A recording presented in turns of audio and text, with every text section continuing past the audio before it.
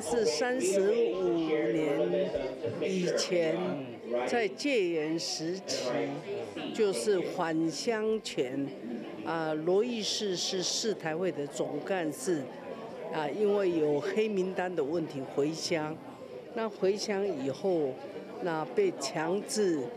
递解出境，那这个中间，因为罗伊士，我所了解，罗伊士先生来跟监察委员陈启。那监察委员依照独立行使职权，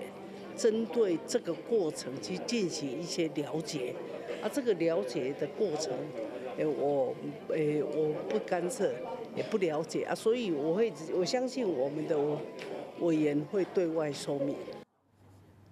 好，您刚听到了陈局表示呢，对于这起调查不会干涉，也不了解。而回顾整起事件呢，当时被政府列为黑名单，而且限制入境的海外异议分子闯关回到台湾，要来参加世台年会时，和警方发生对峙。根据已故立委罗修一朋友出版的书籍指控，时任台北市中山分局刑事组组长侯友谊，为了逮人强灌催泪瓦斯，而且呢还喷洒辣椒水，将人逼出车外，强压来到了桃园机。机场驱逐出境，监察院表示，只是查明真相，也和追究侯友谊个人责任并没有关系。